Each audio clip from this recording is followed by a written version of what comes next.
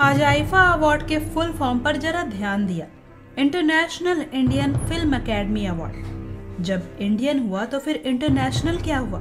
और जब इंटरनेशनल है ही तो बाकी देश के एक्टर एक्ट्रेस को क्यों नहीं मिलता ये अवार्ड? इंडियन में भी सिर्फ़ बॉलीवुड, साउथ का कोई भी नहीं।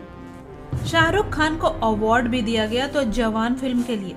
जबकि पठान फ़िल्म को इन्होंने ऐसा दिखाया था कि जैसे अभी तक का ये सर्वश्रेष्ठ फ़िल्म है।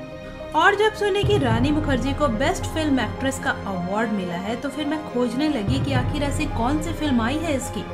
तब पता चला कि मिसेज चटर्जी वर्सेस नॉर्वे ऐसे नाम की कोई फ़िल्म आई, जिसमें रानी मुखर्जी ने अभिनय किया है। गजब का है ये इंटरनेशनल अवार्ड भी।